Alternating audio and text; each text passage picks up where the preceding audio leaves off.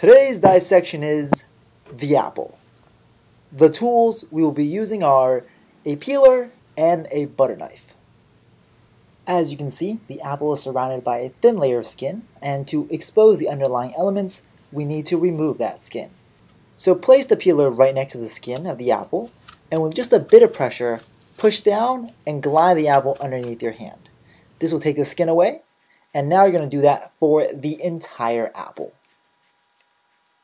Once all the skin has been removed, you're going to take your knife and make a nice straight cut right down the middle of the apple. Now you can see the inside of the apple, which is filled with mostly this yellow meat, and right in the center you can see is the seed.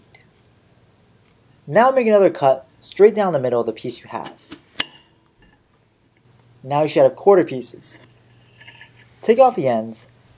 Now bring your knife at a 45 degree angle towards the middle to cut out the center portion with the seeds.